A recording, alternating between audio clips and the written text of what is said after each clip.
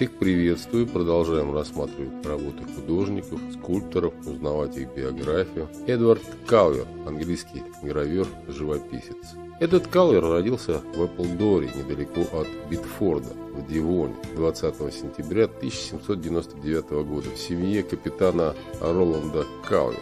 После службы на флоте он изучал искусство в школах Плимута и Королевской академии. Его ранние визионерские работы были в значительной степени вдохновлены Уильямом Блейком, и он стал членом группы под влиянием Блейка, известной как «Древний» которая собиралась у Самуэля Палмера в графстве Кент в конце 1820-х, начале 1830-х годов. Среди лучших работ Калверта изысканные миниатюрные гравюры на дереве, относящиеся к этому раннему периоду, все его гравюры на дереве и меди датируются 1827-1831 годами, но были замечены только друзьями, пока не были опубликованы его сыном в 1893 году тиражом 350 50 экземпляров.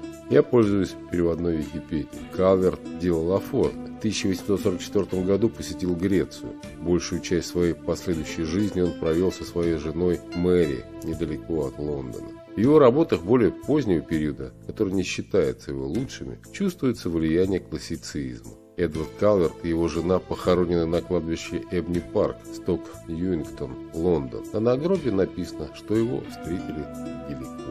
Умер он 14 июля 1883 года.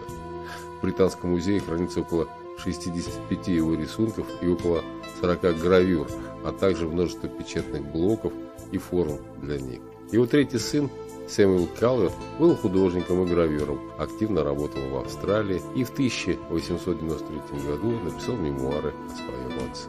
Вот так вкратце о английском гравере и живописце из Википедии Эдварде Калвер. Пока-пока, до свидания, смотрим работу.